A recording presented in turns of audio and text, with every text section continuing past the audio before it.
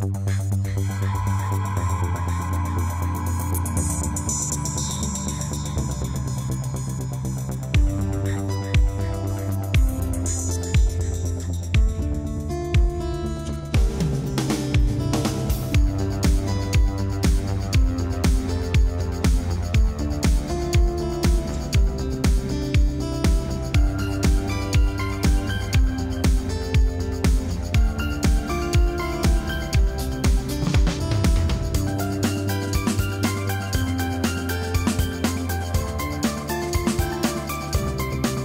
Fives has a special design for the degreasing section.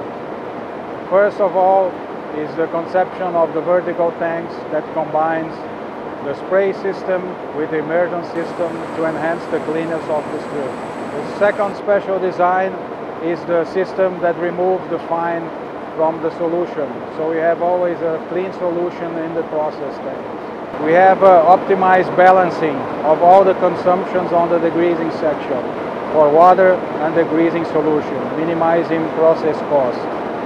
Moreover, we have a special design for our spray bars that allows us to do any maintenance and cleaning while the line is running.